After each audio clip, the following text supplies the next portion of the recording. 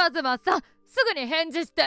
お母さん俺今から海外旅行なんで飛行機に乗るんですよ。海外旅行なんて言ってる場合じゃないわ。沙織がすごい熱で倒れたの。とか言っちゃってドッキリでしたってやつ。そんなわけないでしょ。高熱で意識がなかったから救急車を呼んで病院に運んでもらったところ。真に迫る感じが出てますね。うまいな LINE の書き方。真実よ。今日が山だって言われたかまってちゃんって疲れる。自分の母親使ってまで仮病使ってんじゃねえって。一発ボコっといてください。こんな嘘つくわけないでしょ。意識が戻らないのよ。予断を許さない状態なの。それはマジっすか？分かってくれたのね。私どうしたらいいか分からなくて。沙織に何かあったら生きていけないわ。やっぱ俺って持ってるかも。え？運が向いてきた。このままあれを生きなら保険金がザクザク入りますよね縁起でもないこと言わないで。でもちょっと待てよ。不慮の事故の方がもっと金が入るな。何を言ってるの？お母さん今すぐ沙織を外に連れてってください。はい？そんで放置しとけばどっかの車が天に送ってくれますよ。ふざけないで。俺史上最高に本気です。うまくいったら2万円あげますから。お金なんていらないわ。ただでやってくれるなら願ったり叶ったりだ。するわけないでしょ。あなたがそんな人だったなんて沙織が知ったらショックを受けるでしょうね。心配いりません。高熱は昨日から出っ放したし助かりませんから。娘の体調が悪いの知ってたの？さっき仮病だって言ってたわよね。バレちゃいました？それなのに放置したのね。市販の熱冷ましを飲んでたから取り上げてやりました。取り上げたですって。なんてことするのよ。働きもせずに家でゴロゴロしてる専業主婦なんて犬以下ですからね。薬なんて不要でしょ。専業主婦は立派な仕事よ。その間違った思考は脳の病気なのかな？もしかしてボケが始まってます？病院にいるなら見てもらった方がいいかも。ボケてるわけないでしょ。せっかくアドバイスしてあげたのに。お母さんって親切をあだで返すタイプなんですね。それを言うなら恩をあだで返すでしょ。あれそうだっけ？もういいわ。カズマさんに連絡した私がバカだった。ですね。あのように言ったら連絡ください。じゃ飛行機のチェックインするんでまた。高熱で倒れた嫁を放置して海外旅行に行くなんてどういう神経をしているんでしょう？私はあやめ58歳。娘の沙織と一馬さんは31歳。沙織から体調が悪いから病院に連れてってくれと電話が入り病状を聞いているうちに返事がなくなったので慌てていくとすでに意識がなかったのです。まさか今夜が山と言われるとは。娘が助かるのかすごく不安です。沙織の病状は一進一退を繰り返し予断を許さない状況が続きました。そしてカズマが海外旅行に出かけてから1週間後思いがけない人から LINE が入りました。1週間後すみません緊急事態なんです。奥さんの LINE 既読にならなくてカズマさんのお母さんですよね。返事してください。そうですがどなたですか？カズマさんの友達の美咲です。海外旅行ってあなたと一緒なの？はいそれより大至急奥さんに伝えてほしいんですけど。何よ？ご主人が旅行先で心肺停止っぽい状態なんですって。伝えてもらえませんか？心肺停止ですって？ゆすっても何してもタランとしてて心臓の音も聞こえないし。それはまずいわね。すぐに救急車を呼んだ方がいいわ私英語できないから説明できないんです。他に誰か一緒に旅行してる人はカズマさんと2人だけでどうしたらいいのかわからなくてこれ絶対息してない。今どこにいるの？モルディブのザ・リゾートホテルです。だったら私がホテルの人と話すからカズマさんの状態を教えて英語話せるんですか？日常会話くらいなら。心強いです。いつからカズマさんは体調が悪かったの？一昨日から関節が痛いって言い出してすごい熱が出たんです。ってことはインフル移ってたか。え？なんでもないわ。それから？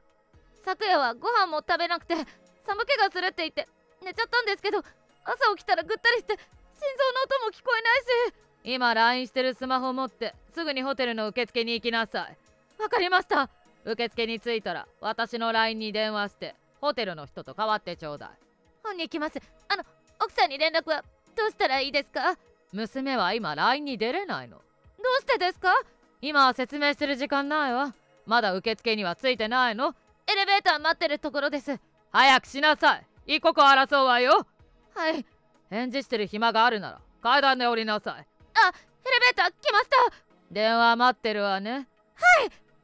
数時間後。先ほどはホテルの方とお話ししてくださって助かりましたカズマさんを助けられなくて。残念だった？わ家から持ってきてた。解熱剤を飲んでたのに。それってインフルには飲んじゃいけないものじゃない？それもしかして。解熱鎮痛剤ってアスピリンっていう成分が入っていると脳症になったり重症化しやすいって聞いたわ。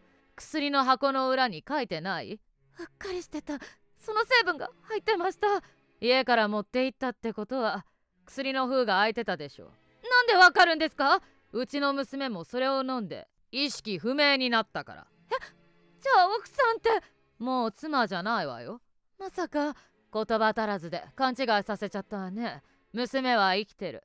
ただ離婚は成立してるから。もう妻じゃないって意味よ。やった！ラッキー！私って持ってる！何を喜んでるの？これでカズマの保険金は私のものだからですよ！え？実はですね私カズマとすっごく深い関係なんです。はいってことは浮気相手ってこと？そうなんです。結婚の約束もしてました。なんとなく怪しいとは思ってたけどびっくりだわ。脅かしちゃってすみまテンション高めな返事に見えるけど。せんわかっちゃいます？めっちゃ上昇中です。そう。あのねあなたはカズマさんの浮気相手だからうちの娘に慰謝料を支払うのよわかってる？ですよね。でもカズマの保険金が懐にガッポガッポ入るのでそんなの軽く支払っちゃいます。まるでカズマさんの保険金の額を知っているような言い方ね。私カズマさんの会社に出入りしてる生命保険のセールスレディしててカズマさんが初めてのお客さんだったので覚えてたんです。あなたたちが出会ったのは保険がきっかけなの？ですです。でも結構大変だからセールスレディは3ヶ月で辞めちゃったんですけど。そうなのねまさかとは思うけどカズマさんが危ないのを知ってて放置したわけじゃないわよね。このままじゃやばいかなとは思いました。あわよくば的な感じですかね。気づいてたのにそのままにしたなんて恐ろしい。今の内緒にしてくれたら2万あげます。誰かさんも同じようなこと言ってた？わえ？ああいいの。気にしないで。ちょっと質問していいかしら？どうぞ。カズマさんと婚姻届を出した？海外にいるからまだですだったら生命保険の受取人は元妻のうちの娘だわ。ぬか喜びしちゃったわね。え？保険のセールスレディなら研修で学んだでしょ。覚えてません。テンションだだ下がりなんですけど。そう。じゃあその話はもういいわ。今どこにいるの？もちろん病院ですよ。でも保険金もらえないならカズマ捨てて私だけ日本に帰ろうかな。それやったら遺体放置した罪になるけど大丈夫？それは困りますだったら病院にそのままいた方がいいわね。あー面倒なことになったな。あなたが早く病院に連れてけばこんなことにならなかったのに。どうせなら外に放置しておけば誰かが天に送ってくれたかも。それもどこかで聞いたセリフだわ。誰でもそう考えるんですね。他の人がどうにかしてくれれば私は大変な思いすることなかったのに。がっかりですよ。あなたもそこそこのクズね。ひどい。早く日本に帰りたいのにこんな足止めなんてマジ勘弁なんですけど。しばらく日本の地は踏めないかも。なんでですか？あなたがモルディブの警察に捕まるからよ。やめてくださいよ。変なジョーク。ジョークだったらよかったわね。ことは本当のことなの？紛れもない事実。あんた殺に誓ったのか？あなたと同じ言い方をするとチクった。逃げても逃げなくても地獄。ですよね。ムカつくから真似すんだですです。イラつく。私草生やってないし。じゃあ草なしで本音で言うわ。異国の土地でとことん反省しなさ私には荷が重すぎます。い自業自得。5万あげるのでどうにかなりまなりません。せんでは7万ではどうですか？値上げするんだ。がめついですね。あーもうしょうがないな。10万にしますよ。お金には揺るがないわ。おあいにくさま駆け引きする気ないんだったら期待させるような返事するな。その強気な態度いつまで持つかしら豚箱には日本より怖いお姉さんたくさんいそうよね。豚箱は確定なんですかモルディブは大通りをビキニ姿で歩いただけでドレスコード違反で身柄を拘束されるところよ。念のために聞きますが本当の話です。ググったら出てくるわよ。やばすぎる。てか警察来たお母さん電話しに行ってから戻ってこないけど大丈夫？心配ないわ。カズマと離婚しておいて正解だったわね。やっぱり浮気旅行に行ってたの？そうよ。あなたの勘が当たってた。そう。インフル移って旅行中にカズマはあの世に行った。え？カズマが危険な状態だって知ってたのに浮気相手は保険金目当てで放置してたの。なんてこと？結果浮気相手は今から警察の事情聴取受けてそのまま豚箱入りね。カズマも浮気相手も同じ穴の無地なってことか。カズマは地獄で浮気相手にはこの世でしっかり懺悔してもらいましょう。日本に戻ってきたら慰謝料も請求しなきゃね。腕のいい弁護士探しておくわ。うん。沙織は救ってもらった命を大切にしなきゃね。お母さん助けてくれて本当にありがとう。これからいっぱい親孝行するね。生きていてくれるだけで親孝行よ。辛い思いをしたけどこれからたくさんの幸せが訪れるように願ってるわ。ありがとうお母さん。